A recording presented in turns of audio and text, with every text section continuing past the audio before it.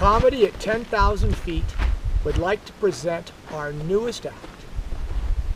He comes from down there and goes by one name.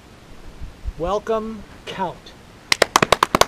Hey! All right. Yeah, baby. All right, guys. Yeah, thank you. Thanks for having me. You know, I'm a little depressed.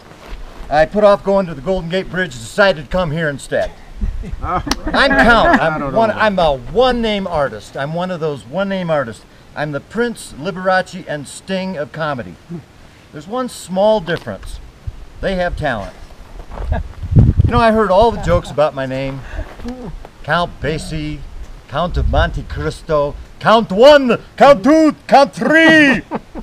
I even heard the count without the O. oh no, no. Painful. But it is my favorite four letter word. What's up with this cruel joke Mother Nature plays on men? This male pattern balding.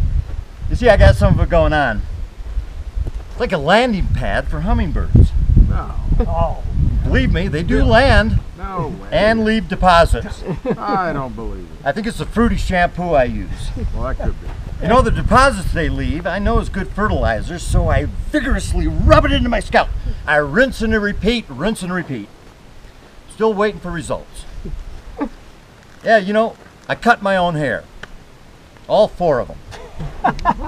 if I didn't trim my nose hairs, I'd be one of those bushy nose men. Oh, they're creepy.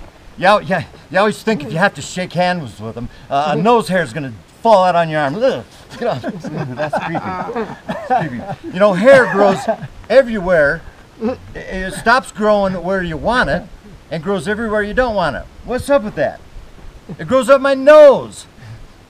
Like a man like me, well, we like to smell things. Not that. Grows out my ears. I can't hear.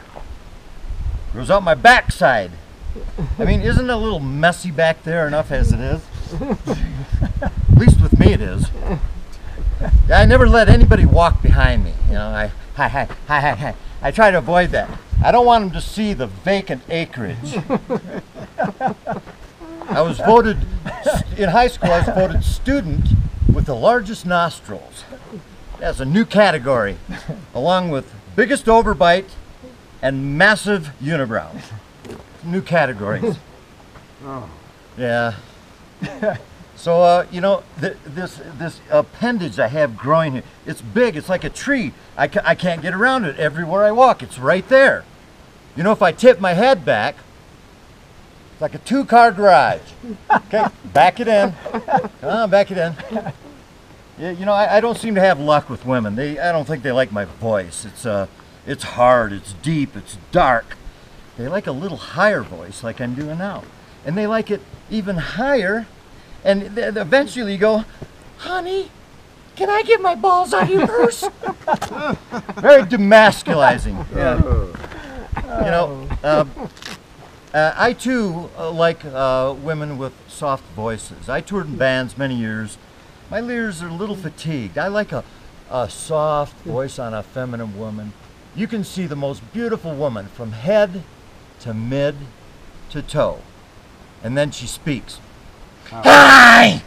It's like two freight trains hitting each other. All right, thanks for having me. Thank you.